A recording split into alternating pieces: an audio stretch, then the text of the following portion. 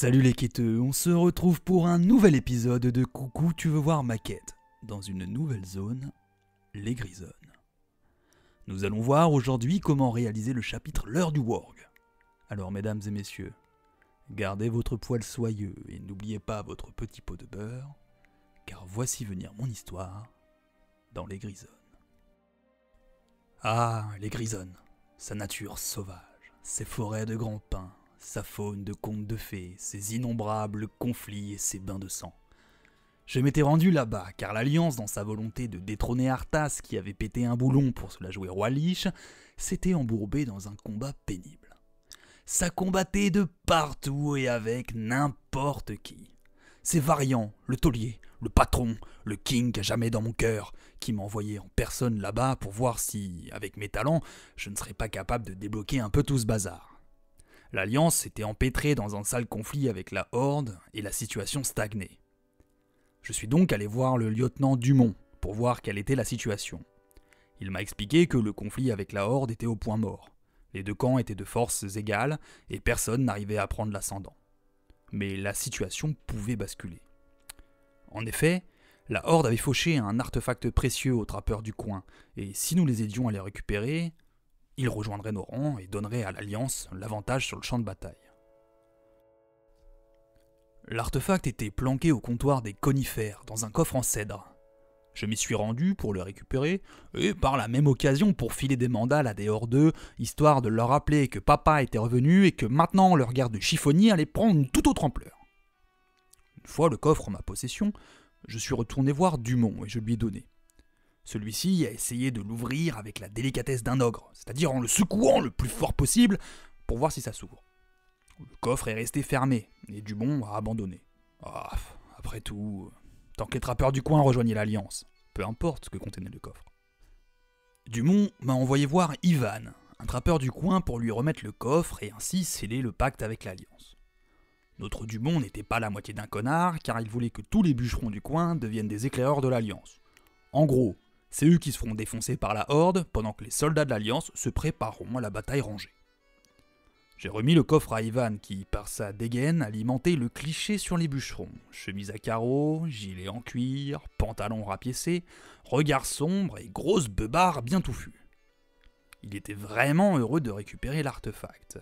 Puis m'a renvoyé voir Dumont pour le prévenir que le marché était conclu. Dumont m'a remercié d'avoir réussi à conclure ce pacte avec les trappeurs. Apparemment, ça faisait des semaines qu'il essayait de conclure un marché avec eux. Des semaines qu'il essayait de conclure un marché avec les trappeurs Et moi j'ai pris 15 minutes pour aller chercher un coffre pérave, et l'accord était conclu. Oh, j'imagine qu'il s'agit encore d'une recrue qui a été promue lieutenant parce qu'il avait une bonne capacité à filer des baffes, mais au niveau des pourparlers, il devait appliquer les mêmes techniques que la Horde. Si tu veux de l'aide de quelqu'un, tape-le bien. S'il est toujours pas d'accord, tape plus fort. Et mes craintes vis-à-vis de la qualité des talents de parlementaires des soldats de l'Alliance ne faisaient que commencer, car Dumont m'a envoyé voir un autre officier, Ducal, qui galérait à s'installer dans la région, et mes talents de diplomate pourraient l'aider à avancer. Je me suis donc mis en route pour le camp où se trouvait Ducal. À première vue, il avait l'air plus sympathique que Dumont, il a directement insisté sur le caractère agréable des habitants de la région plutôt que de vouloir en faire de la chair à canon. Et ces paroles se sont vite concrétisées. À peine je finis de me présenter à Ducal que Sergueï, un des trappeurs du coin, est venu me voir.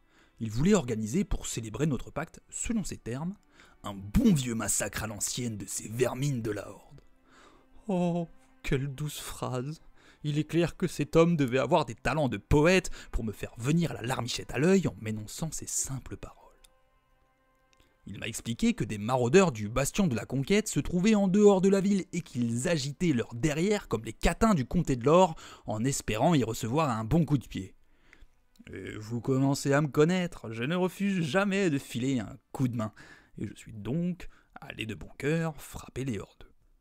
De retour au camp, j'ai aidé les habitants du coin à arracher des racines d'aconites qui ravageaient les cultures, puis je suis retourné voir Sergueï qui voulait continuer son massacre de la Horde et par la même occasion tester mon courage.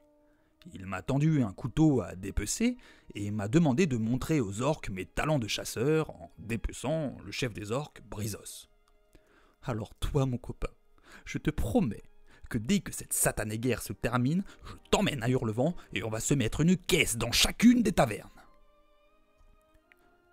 Je suis parti en direction du camp où le molosse à peau verte se trouvait. Je voulais y aller dans un premier temps franco, en fonçant dans le tas. Mais j'ai vu qu'il détenait une otage. Je l'ai donc joué plus discret. Je me suis faufilé dans le dos de l'orque et je l'ai ouvert en deux dans le sens de la longueur. Au moment où je finissais Brisos, l'otage m'a crié d'arrêter et que je devais me méfier des gens qui m'ont envoyé ici. Tiens donc, les trappeurs voudraient-ils me la faire à l'envers? Elle s'est présentée, elle s'appelait Sacha, et m'a tenu des propos incompréhensibles me racontant que les gens qui m'avaient envoyé ici avaient changé, qu'ils n'étaient plus de braves gens, et qu'ils voulaient nous changer, elle et moi, en l'un d'entre eux. Elle m'a ensuite envoyé près de Ruy-Sargent, où selon ses dires, je pourrais y trouver quelque chose qui m'intéresserait. Je m'y suis rendu. Je voulais savoir comment un bon gars comme ce Sergueï, qui est capable de me susurrer des paroles douces comme le miel, pouvait être en fait un enfoiré. À l'endroit indiqué, j'ai trouvé un autre prisonnier en cage. Dès qu'il m'a vu, il s'est mis à paniquer et à prier pour que je ne le tue pas. Eh, mais pour qui il me prend celui-là? D'abord je dis bonjour, ensuite je zigouille, j'ai des principes, moi. Le prisonnier, lorsqu'il eut compris que je ne lui voulais aucun mal, m'a demandé de l'aider à s'évader pour regagner au plus vite le gîte d'Ambrepin, pour y prévenir le lieutenant Dumont et lui expliquer la situation. Le gars n'avait pas l'air de raconter des sornettes et je l'ai donc aidé à s'évader, intrigué par ses propos. Et j'ai très vite compris ce qui se tramait. Les habitants du village s'étaient en fait transformés en worgen. Pas le worgen de type chien de compagnie que peut être Gristet, mais plutôt celui ultra primitif qui trouve plus de plaisir à te déchiqueter la jugulaire qu'à aller chercher le nonos. Nous avons volé le cheval de Ducal qui avait été mordu, et nous avons fui le camp, poursuivi par une horde de ces lycanthropes. J'ai rarement autant craint pour mes fesses. Les bestioles étaient rapides, et heureusement que le prisonnier avait emmené un bidon d'huile pour roussir le poil des loups, car sinon, euh, je serais aujourd'hui dans le ventre d'une de ces bestioles. Nous avons réussi à atteindre Ambrepin, et j'ai directement averti Dumont. Il était furax et bien déterminé à leur renvoyer le bâton. Apparemment, dans ma fuite, j'avais déjà carbonisé une bonne partie des Worgen et le reste des troupes barraient la route vers le sud-est dans le but de nous enfermer. Dumont m'a demandé de me rendre au poste de lisière et d'achever leur chef Vladek ainsi que les quelques Worgen restants. Ah, le saligo J'ai failli finir un instant biscuit pour Worgen, et l'autre ne me laisse même pas le temps de souffler me renvoie littéralement dans la gueule du loup. Des fois, je me demande vraiment pourquoi j'ai rejoint la bannière de l'Alliance. Ah, euh, si, ça me revient. Euh, c'est pour pouvoir me mettre minable dans les auberges sur le vent sans qu'on vienne m'emmerder. C'est marrant comme le symbole du lion d'or et d'azur a tendance à ce qu'on vous laisse picoler à l'œil. En dépouillant un des Worgen de la lisière, j'ai trouvé un journal appartenant à un certain Michael qui racontait l'histoire de l'arrivée dans la région d'un groupe d'adorateurs de l'ombre appelé le culte du loup. Au départ, les habitants du coin étaient sceptiques, mais petit à petit ils ont rejoint le rang des adorateurs.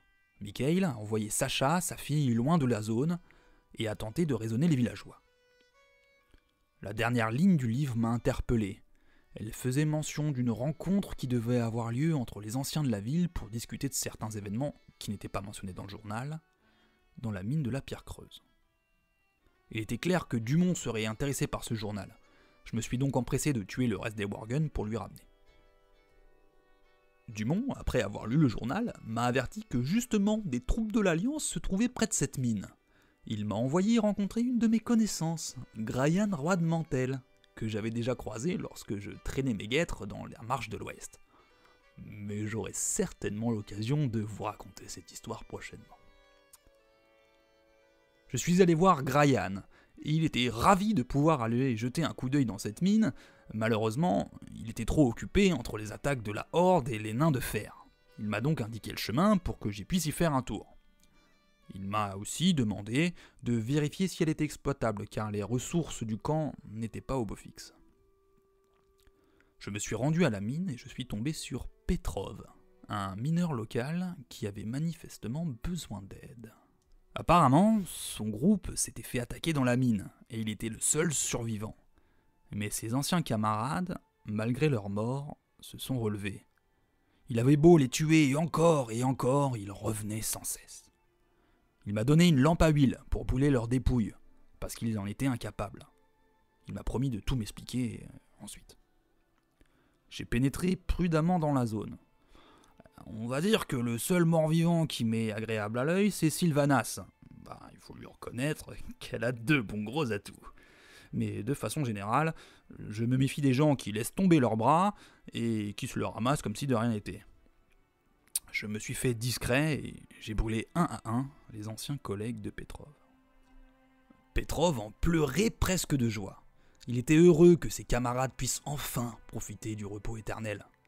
Il m'a expliqué que c'est Arougal, le chef du culte des loups, qui avait ordonné l'attaque car les mineurs refusaient de les rejoindre. Ça y est, j'avais enfin un nom. Il fallait que j'en avertisse Grayan. Je suis retourné le voir, mais celui-ci remettait en cause les paroles de Petrov, car Arougal était mort depuis des années. Euh, est-ce que je devais lui expliquer que les morts qui se relèvent, ça n'a plus rien d'étonnant, on se trouve quand même sur le territoire du roi Lich, et l'arrivée de morts vivants, euh, c'est plus très surprenant. D'ailleurs, un des soldats du coin, Haroun, pensait la même chose que moi. Il m'a envoyé voir une femme, Runa l'aveugle, qui, selon les rumeurs, parlait aux morts et avait des visions du passé et de l'avenir. Yes J'allais pouvoir lui demander si un jour j'arriverais à tirer à Kaliwix tout son pognon. J'ai rejoint Runa, mais je n'ai même pas eu le temps de lui adresser la parole qu'elle m'a déjà prévenu que sa réponse ne serait pas à mon goût. Mais pourquoi faut-il que tous ces prédicateurs soient toujours aussi sinistres? Ça vous écorcherait la face de sourire de temps en temps? Elle m'a demandé de récupérer de la poudre vaporeuse sur les phalènes du coin.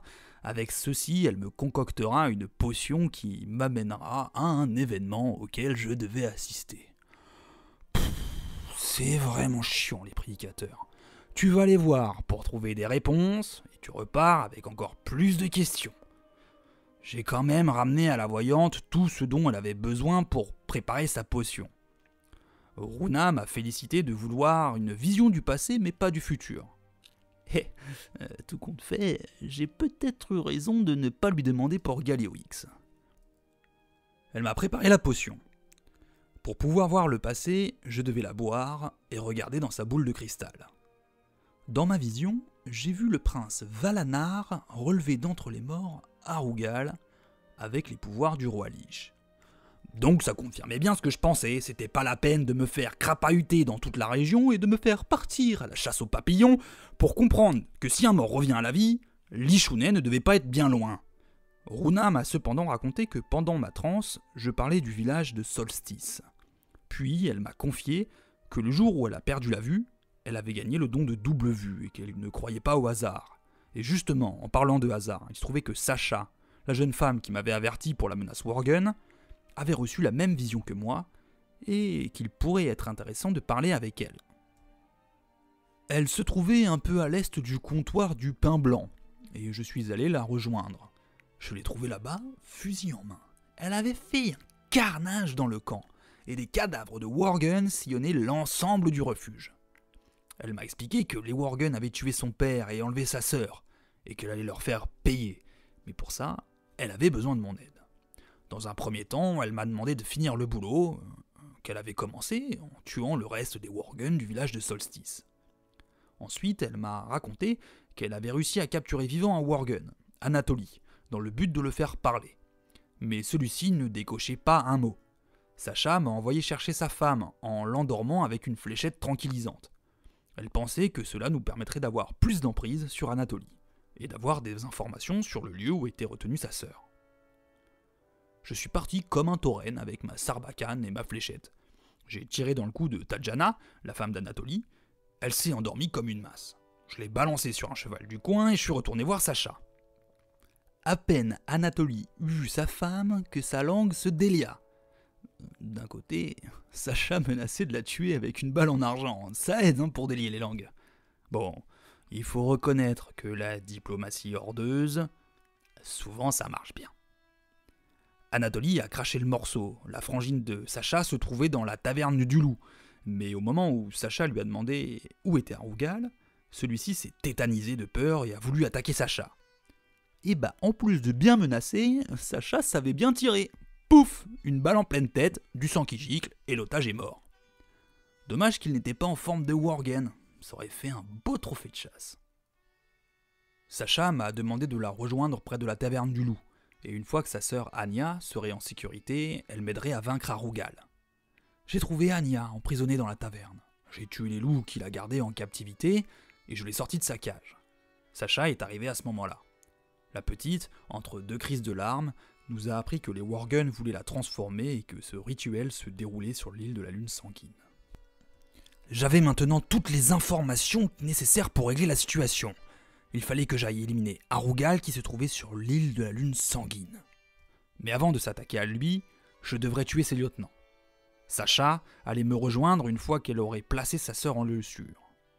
Je me suis dirigé vers l'île, et bon sang, ces Worgen tapaient fort. J'ai failli passer plusieurs fois, et je ne vous cache pas que je n'étais pas tout frais une fois les lieutenants d'Arugal vaincus. Quand il faut à la fois esquiver les crocs et les griffes d'une grosse bestiole bourrée aux stéroïdes, difficile de ne pas gagner quelques cicatrices. Je suis quand même parvenu à tuer les lieutenants, et je me suis trouvé face à Arugal, encore fragilisé de mes blessures. Je me suis jeté avec le peu de force qui me restait dans la bataille. Des Worgen m'attaquaient de tous les côtés, mais poussé par l'adrénaline, j'ai réussi à les repousser en faisant virevolter mes lames le plus rapidement possible. Des bruits de mâchoires claquaient tout autour de moi. J'étais dans un état second. Je ne percevais plus que les jappements des loups en train de mourir et le son du fil de ma lame qui enchaînait les découpes et les parades. Lorsque j'ai repris conscience, il ne restait plus que des cadavres de loups au sol, et ma dague était plantée dans le cœur d'Arugal. Et c'est comme ça, les amis, que j'ai délivré les grisonnes de la menace Worgen.